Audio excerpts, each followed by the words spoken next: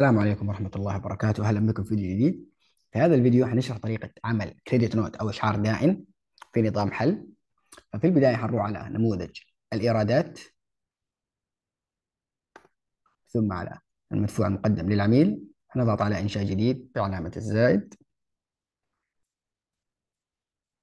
نختار نوع المعاملة لا ينطبق وأيضا مرجع لا ينطبق. نروح عند العميل.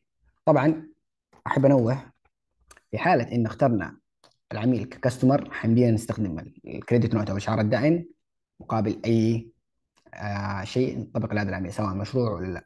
لكن في حالة إن أخذنا أو عملنا الإشعار الدائن مقابل job اللي هو project ففي هذه الحالة أو مشروع ففي هذه الحالة ما حنبينا نستخدمه إلا في هذا المشروع.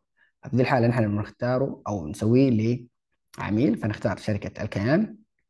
هنختار الإيداع إلى الخصومات أو عفوا الخصومة هو اللايبيليتيز الالتزامات. نختار المبلغ وليكن 10000 ونوعه كشعار دائم في حالة أن نكتب ملاحظة. ممكن نكتبها هنا. كذا نضغط على إضافة.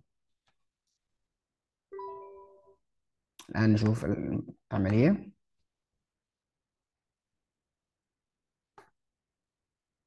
هذه المعاملة أو عفوا المعالجة المحاسبية لها. وهذا الباوتشر أو القسيمة لهذه العملية. اسم العميل المبلغ شامل الضريبة وطريقة الدفع إلى آخره. والسلام عليكم ورحمة الله وبركاته.